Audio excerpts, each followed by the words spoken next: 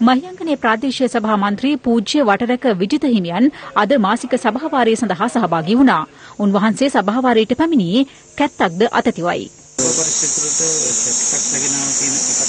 ඒක මම දැන් මේ මේ ඔපරේෂන් එකක් කරලා 14 වෙනිදා බොහොම අමාරුවෙන් තවමත් මේ ඉන්නේ මම මේ දොරමුල්ලේ තිබිච්ච මේ මේ හැරමිට්ටට බොහොම අමාරුවෙන් යන්නේ ඉන්නේ හැරමිට්ට තමයි අරගෙන ආවේ මම දැක්කේ නෑ මම දැක් පස්සේ තමයි මම මේ දැක්කේ මේ එහෙම එකක්